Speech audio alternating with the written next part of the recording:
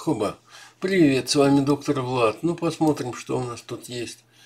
Интересно, вот как Путин сказал, что не надо про Украину так много говорить, ну или что-то в этом роде, да? Сейчас про Украину вообще ничего нет, про Россию довольно много. Ну такая туфта, вот они просто вытягивают из пальца. Ну вот, например, э, значит, у меня первым пунктом стоит, Греф сообщил о 35 подозреваемых в утечке данных клиентов Сбербанка. Я вам говорил, что утечка была, да? В банке утверждают, что она затронула 200 клиентов. Боже мой. В Америке вот миллионы клиентов. Ну, тоже бывают, конечно, скандалы, но особо не освещаются. А здесь 200 клиентов. И вот рассказывают подробно, как начали искать. Есть две службы, внутренние и дочерние. Это Герман Греф, э, значит, в интервью телеканалу «Россия-24». Вот как его отлавливали.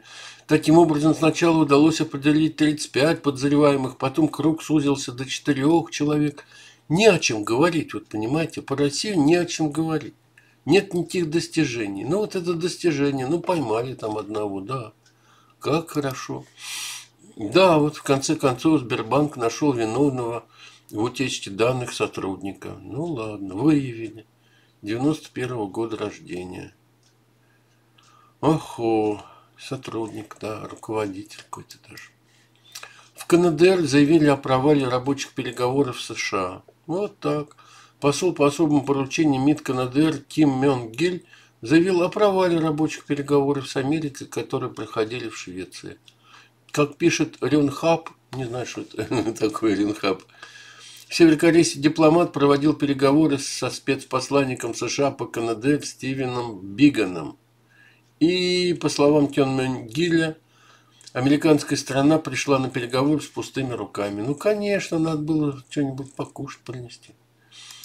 Так, США решили отсеивать мигрантов по наличию денег. Да, новый закон от Трампа, прям вот от Трампа. Изменение коснется тех, кто подает документы на американскую миграционную визу из-за границы. Нужно будет доказать способность оплатить медицинские расходы. Вот так. Если вы родителей или детей, или супругов сюда перетаскиваете, то вам нужно показать, что вы можете оплатить медицинские расходы. Но это Трамп, больше некому. Искренность самородка, победителем голоса 60+, стал шахтер Леонид Сергеенко. Ну вот он такой, с усами, с бородой песни поет. Да, закончилось, видимо, да. Ну, вроде проголосовали как нужно. Я хочу сказать, что скандалов не было. Ну, тут вот несколько человек. Те, которые пели там. Если кто смотрел, молодцы. На концерте Ольги Бузовой в Новокузнецке произошла драка. Там Ольга Бузова по Сибири ездит. Вот. И да. А знаете, что там было? Перед началом концерта возле цирка драка была беспорядки. Из-за задержки самолета Бузовой представление началось на два часа позже. Люди стали выламывать двери, требуя вернуть им деньги за билет. В какой-то момент пришлось вызывать ОМОН. Ничего себе пельмень. Да уж, драка. Бузова. Кто-то ее слушает ведь. Песню на русском языке исполнит на Евровидении впервые за 15 лет. Вот так. Почему-то вот решили исполнить песню на русском языке в 2020 году. Текст сочинил поэт Михаил Гуцериев. Интересно, а я помню еще Новый год тут смотрел, мы расисты Новый год смотрим с женой.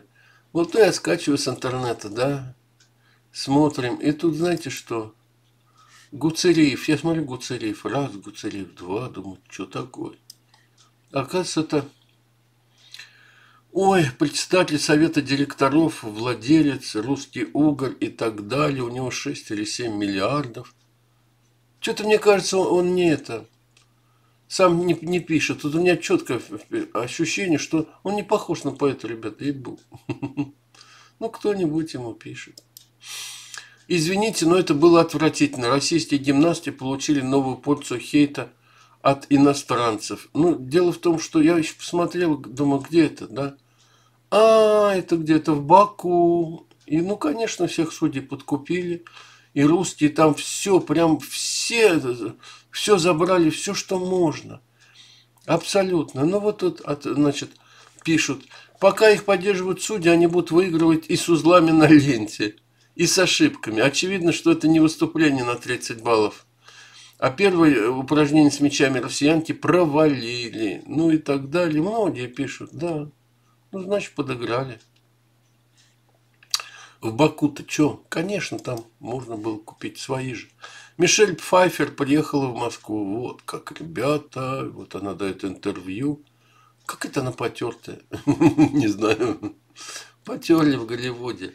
Участница реалити-шоу на Муз-ТВ пожаловалась на принуждение к сексу. Ну надо же. Певица Роксана дает интервью и говорит, я даже послушал, что она значит, пошла на музыкальный проект, но я не могу давать разрешение на съемку в обнаженном виде в туалетах и ванных комнатах. Интересный музыкальный проект, да?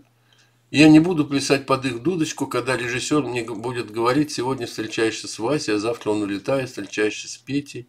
Ее мир рухнул, она обратилась к правозащитникам. Какая-то Роксана. Ну, наверное, она поет, если ее певицей называют. Так, врачи в Казахстане, ну, ребят, вообще ураган. Врачи в Казахстане заморозили младенца, чтобы избежать бумажной волокиты. Ребенок родился мертвым. Они его записали уже мертвым и потащили в холодильную камеру. Ну, так полагается, а он ожил. А они не стали продолжать. Нет, умер, значит, умер. Ужас, чтобы с бумагами не возиться. Ребят, вот что Казахстан, да, что Грузия, Армения, Азербайджан, все что угодно, это все совок. Это все одно и то же, понимаете? Вон этот пророк вводил 50 лет, или сколько, 30 лет по пустыне народ, чтобы забыли рабство, да? Сколько лет, подскажите, я что-то забыл с утра пораньше. Политику узнала о новых случаях давления Вашингтона на Зеленского. Новые случаи. Оказывается, министр энергетики Рик Перри просил украинского президента включить совет директоров «Нафтогаза», представителей США и даже предлагал кон- конкретных кандидатов. Вот такие дела. И потом, кстати, Трамп потом пожаловался, что он звонил вообще э, Зеленскому только потому, что его попросил Рик Перри. Ну, в общем, там такая банда, ребята, нехорошая. А, вот у меня выскочил, это я у себя телевизор смотрел, и, и значит, вылез сайт, называется ancestry.com. Вот, интересный сайт. Ну, там его рекламировали по телевизору, я решил слазить. 20 миллионов членов, значит, смысл какой? Можно сделать э, свою родословную, даже родословное дерево. И тут много-много-много записей. Тут миллиарды записей. Вот, ну, где-то, наверное, документы какие-то повытаскивали – вот, и ты можешь, э, значит, э, выяснить, кто у тебя родственник, кто чего, как. Вообще-то это интересно. Ну, кто этим увлекается, конечно. Я одно время пробовал писать родословное древо. Это такая утомительная, такое утомительное занятие, но интересно. Если кому-то, попробуйте. ancestry.com ФБР задержал, это сегодня уже задержал и допросил депутата Госдумы в Нью-Йоркском аэропорту. Во-первых, там не выдали очень много виз, а во-вторых, вот она прилетела, Инга Юмашева. Вот, задержали, допросили, она прилетела в США на форум «Диалог Форт Росс». Вот, и якобы ее допрашивал сотрудник американской разведки. Ничего, пельмень. Тут Володин уже сегодня истерику прям разыграл. Как это так? Как это можно? Ну, еще ждите Машу. Маша тоже станцует. Так, значит, ФХР подтвердила смерть хоккеиста Сибири Самвелом Натяна. Я вчера вам говорил, ну, в конце концов, он все-таки умер. Он был в очень тяжелом состоянии. Ну, жалко, мальчишка, что совсем. Так, Трамп заявил, что позвонил, да, вот я говорил Зеленскому по просьбе главы Минэнерго США Рика Перри. Ну, он прям извивается весь Трамп, как этот, как уж на сковородке. Припекло его хорошо. Испытания авиабомбы «Дрель» могут сорваться из-за непогоды большой заголовок на Яндексе, а тут пояснение. Авиапро такой сайт какой-то ехидный.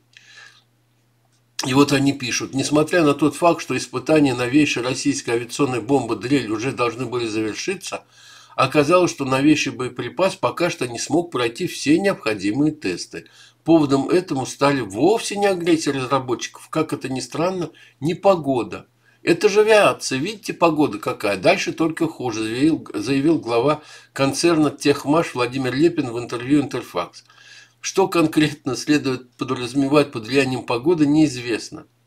Однако специалисты полагают, что испытания затягиваются из-за технических проблем. Сложно предположить, какой должна быть погода, чтобы не отыскать один-два дня в нескольких месяцах для того, чтобы произвести испытание перспективной авиабомбы. Это что, интересное оружие, авиабомба из-за погоды она не это, она не падает. Ну ладно. Всего хорошего, до свидания, с вами доктор Влад.